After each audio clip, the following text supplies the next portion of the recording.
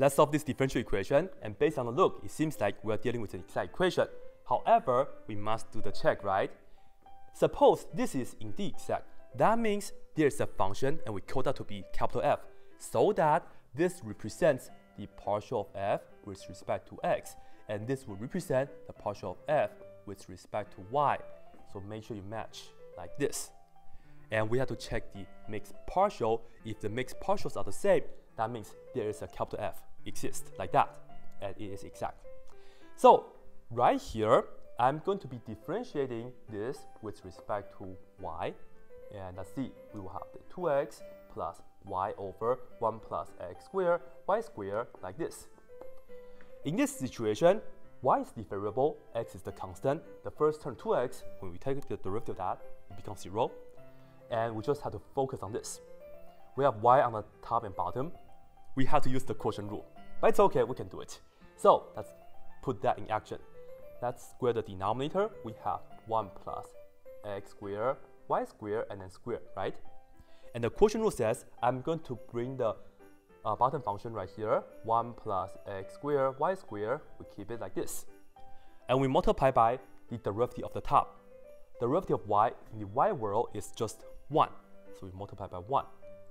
And then we minus, we keep the top function, which is just y, and we multiply by the derivative of the bottom. The derivative of 1 plus x squared, y squared, in the y world this becomes 0, x squared stays, bring the 2 to the front, so we have 2x y squared, 2x squared y like that only, right? Bring the 2 to the front, and the x squared there and this is what we have. On the top, we can simplify things a little bit. So let's see, right here you multiply by 1, doesn't really matter, so this is just 1 plus x squared, y squared, and multiply this, you have minus y times y is y squared, so we have 2x squared, y squared, so all in all, on the top we have 1. This and that are like terms, so you can just subtract. So this minus that is just minus x squared, y squared over that denominator. 1 plus x squared, y squared, and we square that. Alright, let's do the partial with respect to x of this term. We have the x over 1 plus x squared, y squared, and here we have minus 2y so let's see what do we have. The first term, we have to use the quotient rule. With respect to x, let's square the denominator first. So we have 1 plus x squared, y squared, and then square that. And we keep the bottom, so we have 1 plus x squared, y squared, and we multiply by the derivative of x. In the x world, it's just 1. And then we subtract. We keep the x, and we multiply by the derivative of the bottom. Derivative 1 is 0, derivative of x squared, y squared in the x world, you bring the 2 to the front for the x, so you have this 2x and then y squared, like that, okay? And the derivative of negative y in the x world is just 0, and this is what we have. And yes, they are the same, but I'll show you guys all the work. This is 1 plus x squared, y squared minus this times that, which is minus 2x squared, y squared, so you know it's the same. 1 minus x squared y squared over 1 plus x squared y squared and we square that. Yes, this right here it is exact. Okay? And now let's solve it. So begin with either one. This time let me just begin with this right here. So I will write this down as we know this is the partial of f with respect to x, and we know there's a capital F exists because this is an exact equation. So let me put this down as this is equal to 2x plus y over that 1 plus x squared y squared like this. What do we do next? Integrate, of course. Integrate both sides with respect to x. Let's put on dx on the side like that. Okay, so let's see. On the left hand side, we just get capital F. And on the right hand side, the integral of 2x in the x world is just going to give us x squared. The integral of this, y over 1 plus x squared, y squared is kind of hard, so I was going to show you guys this on the side.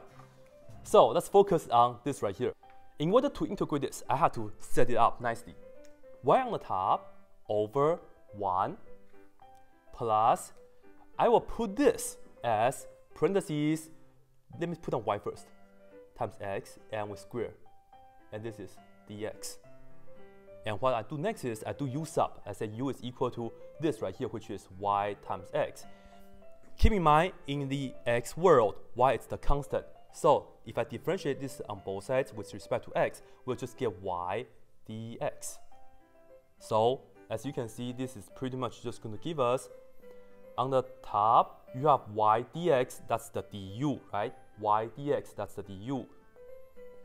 Over, this is 1 plus. This right here is the u, and we have that square. So what's the answer for this? Inverse tangent, right? Inverse tangent u, and u is what? u is x times y, y times x. Doesn't matter. At the end, I'll just put down nicely y uh, x times y like this.